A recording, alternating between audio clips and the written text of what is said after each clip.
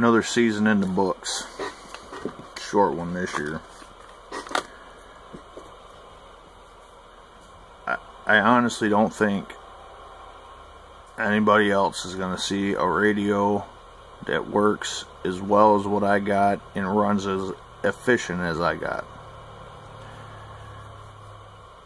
I mean, people can, they boast all the time, I got big pillboxes and I can throw out four or five hundred watt dead keys and, you know, want to be the big top dog all the time. That's fine if that's what you you want to do. To me, the radio never meant that. What it meant to me is the minimum amount of power it takes to do the, do the communication, shooting skip or whatever. But what I stride on doing is because I, I don't have money to buy big linears and big antennas and stuff. You know, I'm I'm working on trying to save up some money so I can get me a, a tower and a and a beam. But I mean that stuff costs a lot of money, and I ain't got it. So what I chose to do instead was uh, do the best with what I had, because I was for certain that my equipment was pretty much the best that you could get. I thought you know.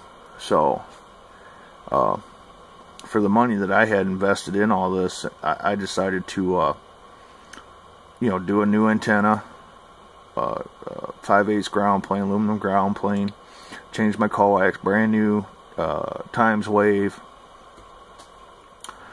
made sure my my impedance was the same as radio to whatever you know it, it, was the same every at every point. Each jumper was 50 ohm or 52 ohm. So what I did is took what I had something that was already existing that was good and made it more efficient. Trying to get every last stinking watt out of what I got. And I think a lot of that is why I beat some of these guys that have beams and have stuff. I mean, granted, I have a good, good uh, transmitting location, you know, but and I'm sure that that that in itself is is a hard feat, but uh,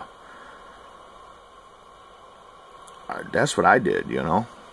And to be honest, you you it's hard to duplicate what I do. You know, it took me four years to figure it out. So, and I've been doing this for six, so. But. Thousand watt scale.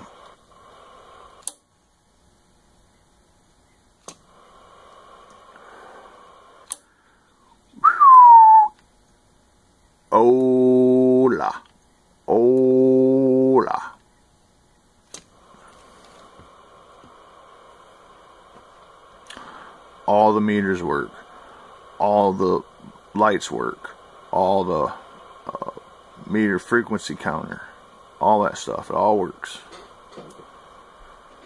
Even the clock. Go auto. But there you guys go, man that's my little uh, little lesson in transmitter efficiency. VSWR so. There you go. Thank you everybody for viewing. I'm in Michigan.